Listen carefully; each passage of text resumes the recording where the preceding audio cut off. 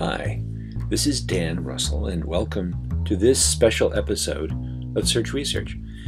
So, if you remember from last week, our challenge was What's that logo? And it was prompted by this holiday card done by Mark Reiner, which is basically a composition of a bunch of different logos. You might call this kind of a logo rebus. Now, I know some of these. So, for example, I know that A right there is, is the Amazon logo, but uh, I'm not sure about these others. I can kind of guess. Oh, there's Yahoo. I know that. Okay, so what are the others? So, the first thing I did to get going here is I opened up this picture, this image in a new tab just by control clicking on it and say open link in new tab or so open open image in new tab and now you can see we've got the whole thing here, and I save that to my desktop, which is over here. Obviously, I'm going to have to sub-image this. I'm going to have to crop down this bigger picture down into its constituent pieces so I can search for each logo by using search by image, right? But there are a lot here. So what I'm going to use instead of Google image search, at least to start, is I'm going to use Bing's image search because it already has a tool built in to automatically do sub-imaging, or at least under user control. Let me show you this. When you go to bing.com, you can click on images here, like that. And what I'm going to do is search for, by clicking on the camera icon, click, I'm going to search for this entire image. So here like this.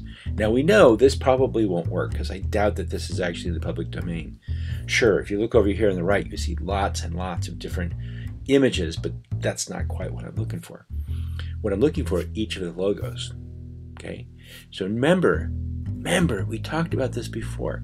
If you click down here in Visual Search, click, this allows me to then use this little framing widget like that and I can start to search for just the sub piece.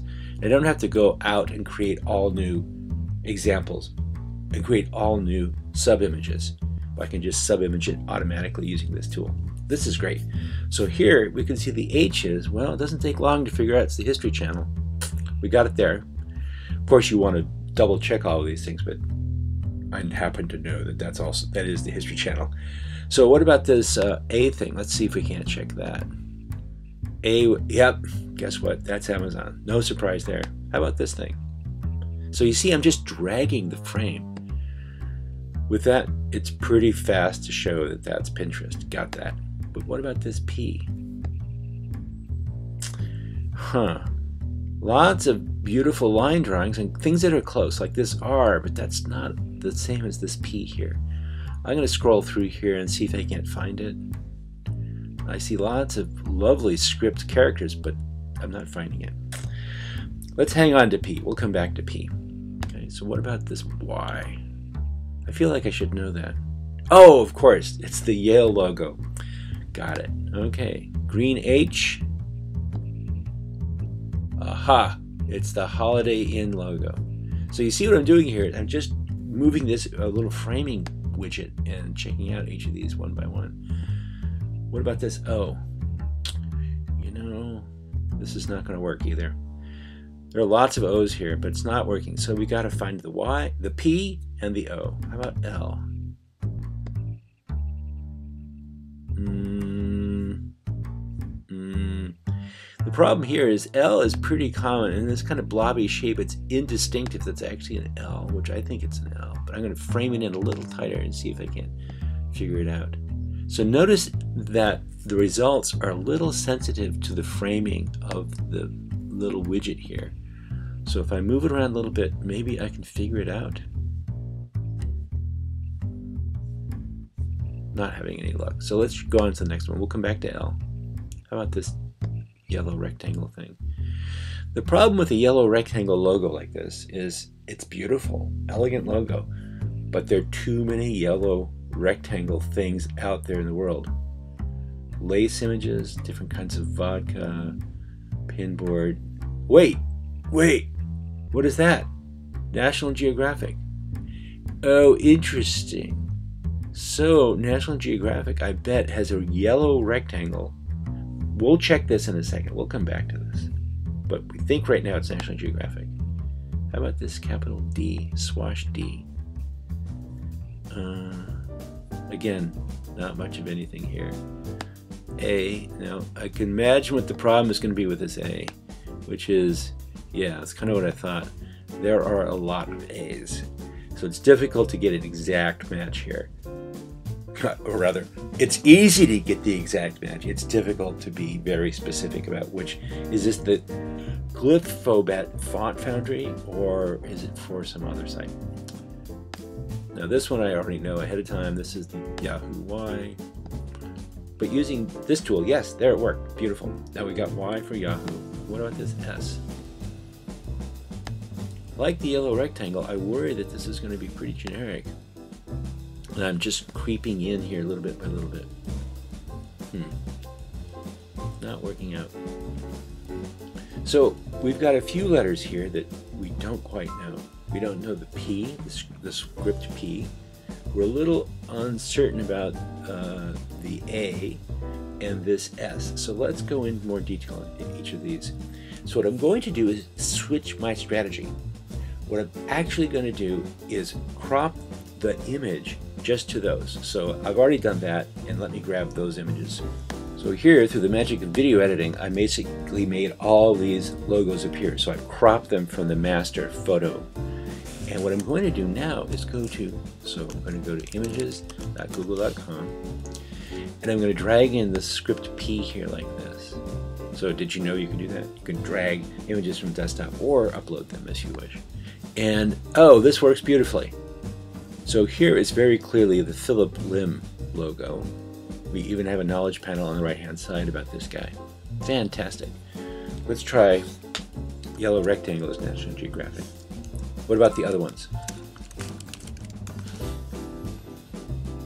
Let's try this S swashy logo thing here with the arrow on it. Got a bunch of stuff here. It's not working out too well. What do we have to do? Let's try changing that to logo. Does that help? No, that does not help. Um, we'll go arrow S. Did that help? Click on visually similar images. And I'm just going to start scrolling through here. Oh, wait, wait. I noticed something interesting here. See that yellow arrow? points out that Subway has a new logo. Maybe we should check this out. I recognize this because that yellow arrow looks surprisingly like this yellow arrow on the logo itself. So I'm going to click on that, thinking that maybe it's the Subway logo. Oh, interesting. So we can go read this article. Aha, that is exactly it. So we found it here by amending the query in Google search by adding the words logo arrow s, that is, describing it, and then following a lead that we found down here, and we discovered Subway has a new logo, and that's it. All right. Let's go back to Google Images, and we've got a couple more here. How about that O? That was a particularly odd thing. O with, it looks like a boat or something at the top. Oh, look at this. Here it suggests it's Old Spice. And certainly the logo of Old Spice looks like it. It's got a little ship at the top, same thing, with that particular shape and color of O. So I would say that's probably it. And oh, if we scroll down here, look at visually similar images. Yes, this is clearly it. Okay.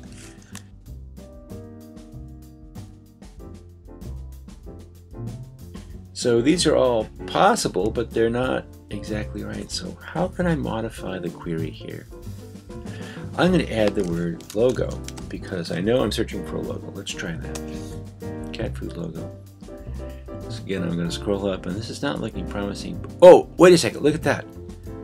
That's exactly the logo we're searching for. Okay, so big lessons learned here. First, sometimes using one tool is not enough. Sometimes it's great to use something like Bing and use the visual search tool to very quickly and efficiently move from thing to thing. So here, just by using the cropping tool, we can start to get very fast, very efficient searches of a subimage. But that didn't work for everything. Sometimes the best approach was just to crop the image into the sub images that make sense, like this one. Use regular Google image search, drag and drop that into there or upload it. And so the point is that we sometimes have to switch tools. We have to we have to switch methods in order to get to the best possible answer. And lastly, as we saw with the cat logo, sometimes you have to modify the query. In this case, I'm going to search for images, but I have to add the word logo in order to get to the answer that we're actually looking for. Okay, that's it for this week. Hope you enjoyed this. If you like this, let me know in the comments below and we'll do more.